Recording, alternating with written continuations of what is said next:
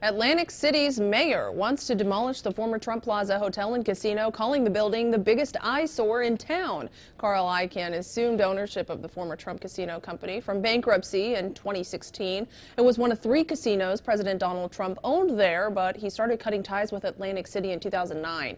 Now Mayor Marty Small says demolishing the now vacant casino is one of his main goals for 2020. Katie Johnston, CBS Philly.